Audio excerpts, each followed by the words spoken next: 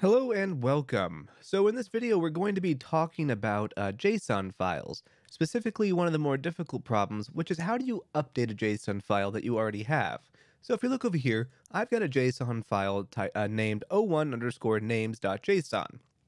So what we're going to do is we're going to take this list of names, we're going to read it into our Python script that we're going to write over here, and we're going to actually process it, analyze it, and then update it. And we're going to do that by including an extra person over here. And I'm kind of an idiot and I used first name as surname. I'm going to change that right now. First name, first name, first name, and there we go. So now we have a first name named Jim, a first name named Test, and a first name named Bob.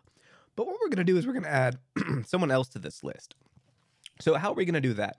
Well, first and foremost, we are going to import JSON. That's the module for working with JSON files in Python. The next thing that we're going to do is we have to kind of create a definition. And this answer is coming to you from geeksforgeeks.org. I'm going to include a link in the description. The reason why I'm putting it up here is because when I was first working with JSON files, it took me a while to find this solution, and the solutions that are on Stack Overflow are a little difficult to parse. So the first thing we're going to do is we're going to create a definition, and this is going to be def um, j, uh, uh, underscore write underscore JSON. We're going to pass in two arguments. The first one's going to be data, and the next one's going to be file name. And we're going to make the file name equal to uh, our file name over here, which is o1 underscore names.json. Within this definition, we are going to do just a couple lines of code. We're going to say with open, with open file name. So that's going to pass in our file name right here. And we're going to run it as write. This is going to allow us to write data to that JSON file. And we're going to uh, do that right as f, typical Pythonic way of doing that. And we're going to say json.dumps and, oh, dump. There we go. Uh, and we're going to say data. So it's going to be the data that we pass in. And we're going to do that to f which is our file that we have open. And we're going to indent uh, is equal to 4. And that's going to make it look all beautiful like this. So now that we got that definition kind of uh, written and out of the way, let's start uh, our, our, function. Uh, let's start actually writing the code that we need to um, write to pass that data to our function of write underscore JSON. So what we're going to do is very simple, very common JSON uh, Uh, interaction. So we're going to say with open, and we're going to say o1 underscore names dot json as JSON underscore file, typical Pythonic way of doing that. We're going to say that data is equal to json.load, and we're going to load in that whole JSON file. So this is just simply loading in this file and allowing us to create an object called data, which is going to be this entire set of information. What we're going to do though is we want to get a very specific thing from this JSON file.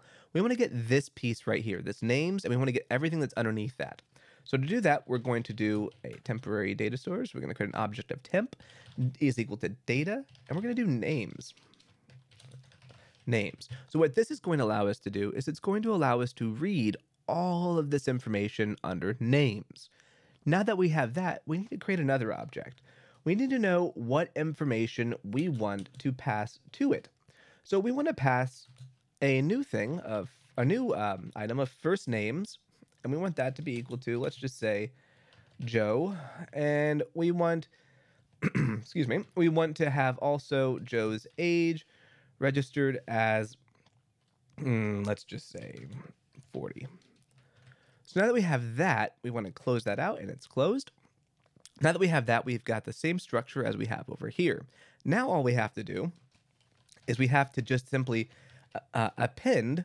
So keep in mind when this data is loaded in, it's loaded in as a list like we see here. We want to append that list. We want to load it in, at, load in and append y. And now all we have to do is we simply have to do write JSON. We're going to call that function we're going to do pass simply in the information of data. And the reason why we're able to do that is because we have passed all this information in and we've updated all of that information on um, in the data memory. And when we write it back in, we are simply going to erase everything that was there and rewrite and update this JSON file. So let's go ahead and run this. And if you notice, we've done just that. In a, uh, a split second, granted we're working with minimal amounts of data, we've been able to add in Joe to our JSON file. So that's the quick and easy way of how you update a JSON file. You simply read in all the information in Python, and then you write a very simple function to, that will take all that data once it's processed and you've appended it, and it will uh, load it all in for you. And if you just follow this very simple format, you'll find that you can copy and paste this code in all of your projects with very minimal alteration. All you're going to need to do is to update the names uh, or the uh, the file name, the specific tag within the JSON file, and then this kind of bit of data that you want to pass. But the crux of the code can be easily implemented in any of your DH projects. Thank you for listening.